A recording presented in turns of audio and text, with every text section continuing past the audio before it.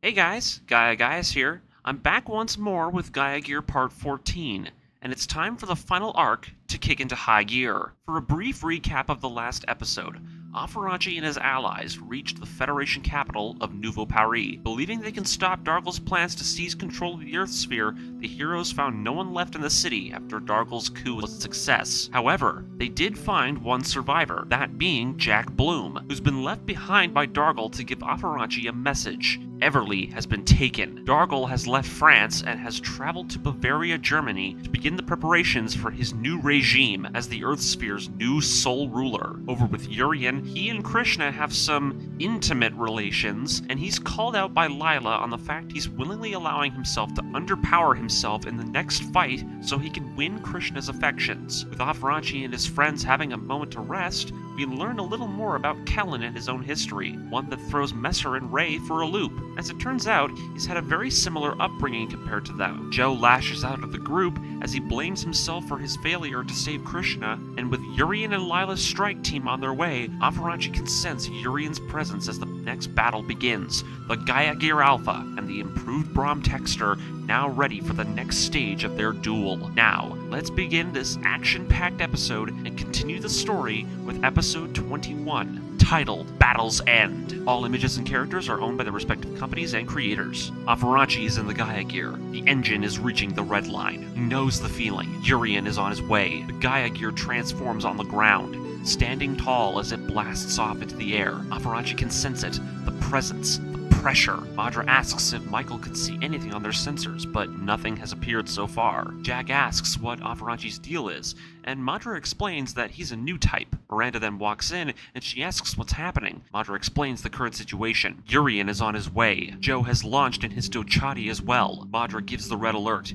It seems the enemy is closing in from all around them. All hands to battle stations. Kellan, Messer, and Ray get into their own man machines. It seems they're raring to go as well. It seems Urian has come here to try and finish them off. Messer himself wants payback, and the two Dochatis and the Zoran Soul launch into the sky. The Air Force's heat sensors have detected them. Urian's squadron, 10 man machines, closing in fast. The group is impressed. Quite the number of troops for Urian to muster. Afranche has been spot on in his assumption, and Jack is convinced now that Afranche is no doubt the heir to Char. The Bromb Texters close in. Lila can see the Gaia gear on her scanners. She thought Urian trashed the thing, though. Urian says that it doesn't matter. He knows Afranche will come to face him, even if he's in a damaged piece of equipment. The squadron closes into the city, and Urian can spot them approaching in the air. Group closes in, and the two squadrons begin to engage in air-to-air combat 8v10. Lila spots the Gaia gear. It was fixed? The unit fires around from its beam rifle. She dodges it and fires back. The Gaia gear glancing over at Lila's Bromb Texter as it evades her attacks at close range. Lila is frustrated. Not bad for a new type. Urian orders they split up, and the squadron launches in their separate directions, all over the city below. As Afranche gives chase, he can sense Urian's presence is weaker than before. He's not using the Psycommu? Kellan gives the alert that the Bromb Texter has landed in the streets. Joe says that he can flank him, and Afranche warns him not to get too close. Kellan says that they should get closer to the ground too. Up in the air, they could get picked off by someone. Afranche agrees,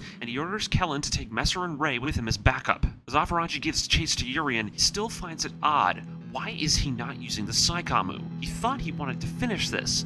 He can't use his funnels in the city, it'd be too dangerous and too close to proximity for him. As the Gaia gear lands, Afranche can see that Minovsky particles are getting too dense here. Urian is close, but he can't tell on his scanners who's friend or foe. Afranche realizes that he has to be careful who he shoots at this point. Spots Urian, and he fires a burst of beam energy the Bromb Texter easily avoids. Afranche now gets it. He's using the buildings as a shield. Over with Urian, he himself realizes that his Bromb Texter is running slower than usual. It seems he now realizes what it's like to be forced not to use the Psycommu, but luckily, the city is cramped enough to forbid any extreme maneuvers, so he should be able to take him down with this amount of protection. Urian won't be beaten again this time. Meanwhile, on the bridge of the Air Force, Michael says that they've engaged in the city. Roger says that's bad, that if they're not careful, this fight could lead to a battle of attrition, which isn't good for their troops, since they have so few man machines left. Miranda says that Afranche has got this, and Madra asks Jack to be prepared to ship if necessary. Jack says he's fine with it,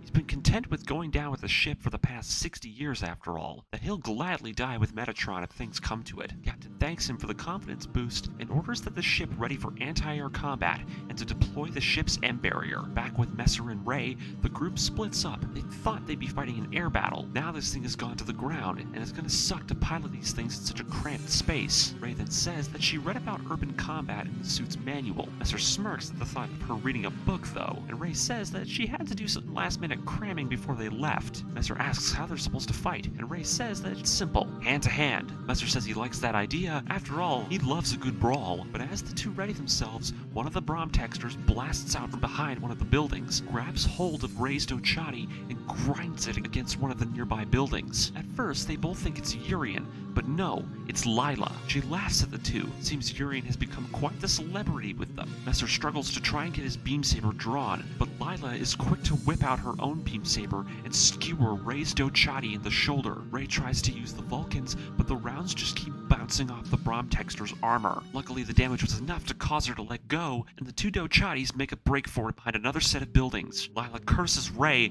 and the two Dochatis try to figure out their next move. Ray says that the damage to her shoulder won't let her beam rifle be fired anymore. Messer asks her to go back to the ship. Ray says that she can still fight though, just has to switch weapons to the other arm. This causes the two to bicker whether or not to stay or not, but the two finally decide to stick together. They're gonna fight together to the end. Back with Kellen, can't find where Joe went. The interference is too much, and he can't locate him at all. Afranche offers to go find him, and Kellen says that he can't rely on their comms. The only thing that's gonna get them through this interference is the Gaia Gear Psycommu. Over with Joe, he still can't use his sensors either. He can only rely on the suit's camera feed. As the DH-3B marches through the streets, Joe keeps thinking about Urian. He's gonna make him pay. As he wonders where he went, Urian's Bromtexter blasts from behind and slashes the DH-3B in the back. Urian then mockingly asks where Joe was looking and that he was easily able to sneak up on him from behind. Joe calls him out and demands to know where Krishna is. Urian at first is taken aback, but then says that she's fine. She's actually working for him now. Joe is confused, but Urian says that Krishna has willingly joined him and is now his woman. Joe calls bullshit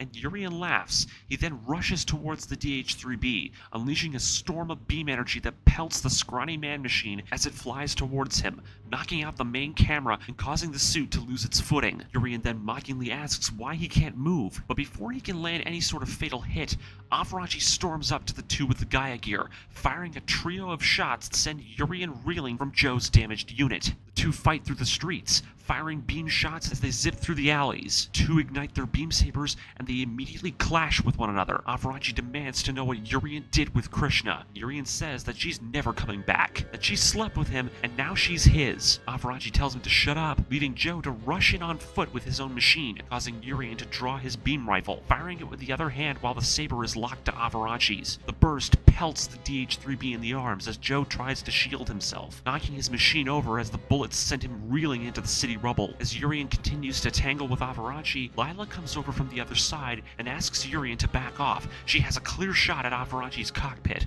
but instead, Urian asks her to finish off the DH-3B that's laying on the ground. Lila complies, but as she takes aim, Afranche leaps in to shield Joe from the blast. He's not letting him die. With that, Afranche finally activates the Gaia Gear's new funnels. Urien is stunned. He screams out to Lila to back off, but it's too late. Afranche gives his funnels the order. The Gaia Gear's new funnels zip around the red Bromb Texter, piercing the suit like drills, punching holes in the unit as they zip around its body and blasting the suit to pieces, blowing the suit's reactor and causing a shockwave that takes out a whole block's worth of the city ruins.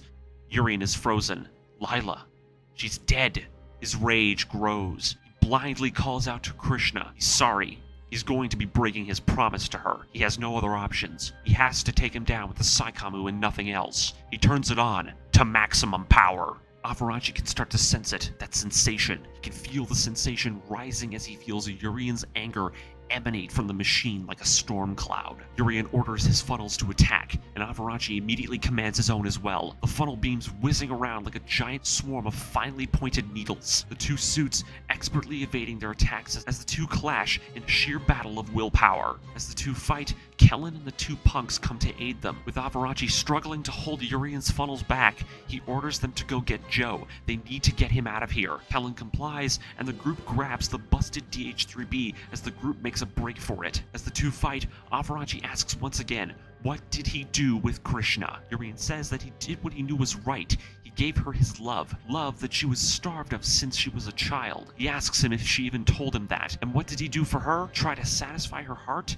No. Afranche says that she's one of them, that she's a part of them, because she, like them, wants to save the Earth. But Urian says that that's just the high and mighty spouting nonsense. That because he preaches that, he's closed off his true heart to others. Back with Joe, he can hear it all, all of it. What Urian is saying, he can't help be frozen. He hears Urian say it. She belongs to him now. Joe doesn't believe it though, and in a fit of blind fury, heedless of his friends telling him to stop, Joe gets the DH-3B off the ground on its own and races it towards Urian's Bromb Texter. Urian can see him coming. He thought the thing was downed. He readies the funnels to hit him again, and Afranche tells Joe to stop. Get away! Kellen calls out to him too, but before the funnels have a chance to land their beams, Kellen races towards Joe, shoving the DH-3B with his man machine, the beams skewering the Zoran soul from every angle, destroying the cockpit and killing Kellen instantly in the blast. The group is frozen. Kellen, no! Urian laughs. Now it's Afranche's turn. Afranche curses Urian,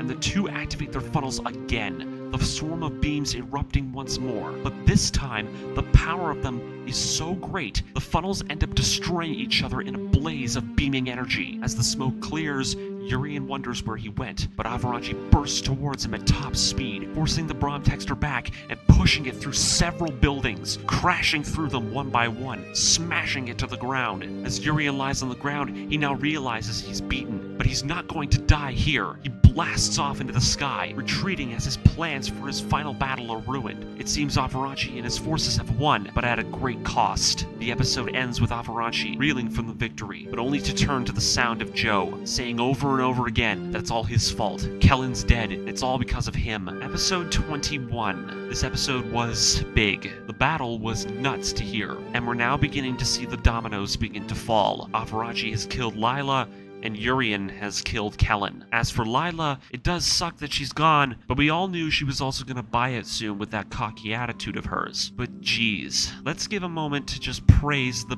bestest bro in the whole story. Rest in peace, Kellen. Didn't deserve it. But now it seems we're drawing closer to the end now. And once again, like I said, dominoes are beginning to fall. Lila and Kellen's deaths are an obvious sign of that. Afranche and Urian just destroyed each other's funnels instantly with the sheer power of the two as they fought. It's also unfortunate that Urian broke his promise, and this is a sign that Urian is starting to become more and more focused on the rivalry than that of Krishna, something that will be a deciding factor in the final battle that is yet to come. As for Afranche, you can tell that he's also kind of getting swallowed up by it. Luckily, he's been able to show a little more restraint, but using the Psycommu as well is not a good sign for him either. You can tell from the audio that it's taking a lot out of him. Not as much as Urian, but still enough. Only time will tell, but now we're going to be bringing this episode to an end. Tune in next time where I go in and cover episode 22 with the surprise return of another character, one we haven't seen in a while. Anyways, that'll be it. Remember to like, comment, and subscribe. Turn on notification bell to make sure you're caught up with the story. And this is Guy Gaius, signing off.